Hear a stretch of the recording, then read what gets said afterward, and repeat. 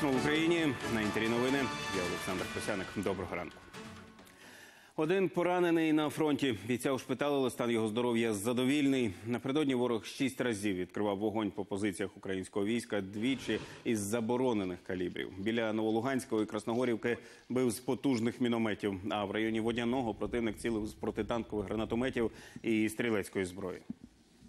Заїжджають е, групи туристів, і вони працюють на своїх напрямках. Дуже професійно діють. Вони заводять ракету, вони можуть її навіть завести прямо в бійницю, вони попадають прямо в пост.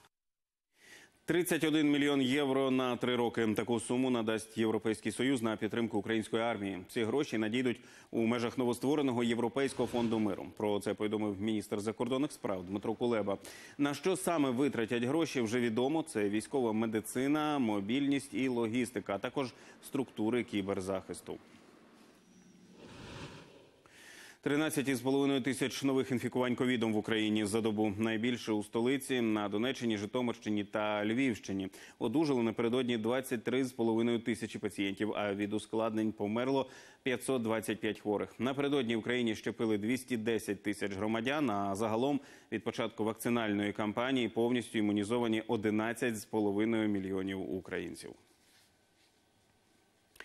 Щоб уберегтися від нового штаму Омікрон, Україна закриває кордони. В'їжджати заборонили громадянам кількох південноафриканських країн, де зафіксували спалах цього різновиду ковіду. Водночас українці, які звідти повертаються, мають відбути двотижневу самоізоляцію. І новий штам коронавірусу Омікрон і далі фіксують по всьому світу. Загалом про випадки інфікування повідомили вже понад 20 країн. Аби стримати поширення мутації, світ запроваджує нові правила для мандрівників. Щоденні оновлення правил в'їзду чекають туристів, охочих потрапити до ЄС. Єврокомісія рекомендує країнам-учасницям союзу переглядати правила подорожей щодня, аби стримати поширення нового штаму Омікрон. На рекомендації уряди реагують миттєво. Перше рішення стосується мандрівників, які приїздять з поза меж Європейського союзу. Для них ми вирішили запровадити обов'язкову умову наявність негативного тесту, зробленого не менше ніж за 48 годин, незалежно від того, вакциновані вони чи ні. На повну ізоляцію майже весь світ відправив Південну Африку. Країни-члени ЄС, Велика Британія, Японія, Канада, Ізраїль, а тепер і Україна закривають кордони для мандрівників із семи африканських держав. Серед них пар, Ботсвана та Зімбабве.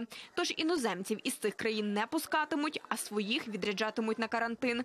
Усе через поширення штаму Омікрон, який уперше виявили саме в південній Африці. Таку ізоляцію не схвалюють ні у ВОЗ, ні в ООН. Це неприйнятно, коли певну частину світу одну з найуразливіших економічно прирікають на локаут. Вони стали лише тими, хто виявив існування нового варіанта. Я закликаю до здорового глузду. У нас є інструменти, щоб зробити подорожі безпечними. Тож скористаймося ними. Інформації щодо мутації наразі обмаль. Науковцям потрібно зо два тижні, щоб дослідити новий вид вірусу.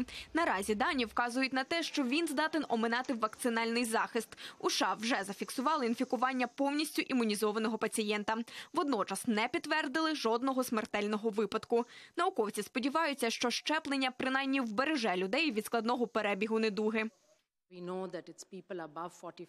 Ми знаємо, що в людей старших за 45 років із супутніми захворюваннями найвищий ризик розвитку тяжкої форми після інфікування, чи то оміокроном, чи то дельтою, чи будь-яким іншим варіантом. Тож знаємо, що вакцини таки допомагають. Звісно, потрібно ще з'ясувати наскільки ефективно. Та ми вважаємо, що імунізація все одно захистить від тяжкого перебігу, як і від інших мутацій вірусу. Наразі омікрон виявили в 23 країнах. Найбільше випадків у пар. Національний інститут вірусології заявив, що більше як 70% усіх інфікувань за останній місяць пов'язані з новим штамом. В країну вже спорядили команду експертів ВООЗ, аби допомогти впоратися зі спалахом вірусу. Вікторія Парфенюк, телеканал Інтер. 12 років за допомогу вбивці. Шевченківський райсуд Києва виніс вирок водієві, який підвозив кілера на місце вбивства Дениса Вороненкова, екс-депутата Російської Держдуми, якого застрелили у Києві у березні 2017-го. Ярослава Тарасенка визнали винним у пособництві. А от іншого фігуранта Олександра Лося виправдали. Йому закидали стеження за Вороненковим. Другий вирок прокуратура пообіцяла оскаржити. У Кривому Розі водій вантажівки збив жінку та її п'ятирічного сина. Мати померла на місці. Дитину в тяжкому стані забрала швидка. Винуватець ДТП втік з місця події. Поліція оголосила його в розшук і невдовзі затримала. Правоохоронці підозрюють, що чоловік був під дією наркотиків, їхав з вимкненими фарами, а пішоходи дорогу перебігали у невстановленому місці. Водієві загрожує до восьми років ув'язнення. Гонял машину и ну, обогнал, почему вы уехали с места аварии? Я отъехал, потому что тут э, стояла фура, я не мог припарковаться. Отъехал, а потом подошел, испугался. Із Богом, трояндами і під панк-рок Ангелу Меркель провели з посади канцлера, яку вона обіймала 16 років. У Берліні відбулася офіційна церемонія уряду Вечірня зоря. У ній взяв участь Бундесвер, і це найвищий знак поваги, який цивільна людина може отримати від німецьких військових.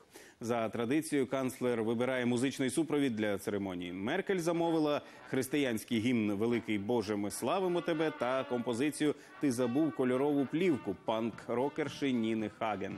Остаточно полишити свій кабінет Ангела Меркель е, має до кінця наступного тижня. Її наступником стане Олаф Шольц. Тепер наступний уряд має знайти відповіді на виклики, що стоять перед нами. Тож, дорогий Олафе Шольце, я бажаю вам і вашому урядові усього найкращого. Я впевнена, ми й надалі зможемо добре будувати наше майбутнє, якщо не поступимося невдоволенню, заздрощам і песимізму, а візьмемося до роботи з радістю в серці. Принаймні так завжди робила я, і я бажаю цієї радості нам всім і всій нашій країні. Папа Римський прилетів на Кіпр. Офіційну церемонію зустрічі Франциска провели у президентському палаці. Триватиме візит два дні. В суботу на найбільшому стадіоні Кіпру в Нікосії папа проведе літургію. Передбачена присутність 7 тисяч вірян. Після Кіпру понтифік виручить до Греції. Цей візит уже назвали історичним. Сам Франциск сказав, що це буде подорож до джерел апостольської віри та братерства між християнами різних конфесій. Масове приготування кімчі традиційної корейської страви влаштували в Сеулі. Куховарити зібралося більше сотні волонтерів, а готові наїдки роздали нужденним. 150 людей зібралися довкола одного з буддійських храмів у Сеулі, щоб приготувати традиційну корейську страву кімчі. Таку толоку влаштовують щорічно, але останні два роки через пандемію її не проводили. Ми не мали змоги провести цей щорічний захід останні два роки через коронавірус. Тому бути сьогодні тут справді зворушливо, і це неабияка радість. Кімчі – це гостра овочева страва, яку традиційно готують з пекінської капусти, селери, баклажанів, редьки чи огірків. Загалом є понад 20 варіацій рецепту кімчі.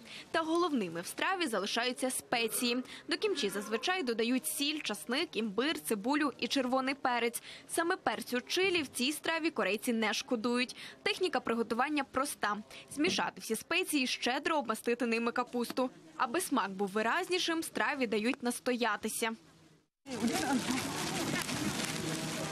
До справи підійшли відповідально. Учасники були не лише в масках, а й у рукавицях, фартухах та спеціальних головних оборах. Таке масове приготування кімчі мало благодійну мету. Половину наготовленого волонтери віддали малозабезпеченим сім'ям та літнім людям. Ми проводимо цей захід, щоб дати надію та підбадьорити людей похилого віку, які потребують догляду, а також самотніх і тих, хто хворіє на коронавірус. Решту страви залишили представникам храму, які організували захід. Також не оминули увагою й інші буддійські установи. Дуже чудово, що храм влаштовує цю подію, щоб поділитися з громадою. Ми беремо участь із гордістю. А ділитися було чим, адже наготували чимало. Лише капуста знадобилося понад 8 тисяч кілограмів. Вікторія Парфенюк, новини, телеканал Інтер. Наразі це все. Більше новин буде у випуску о 9 годині. Тоді побачимося. До зустрічі.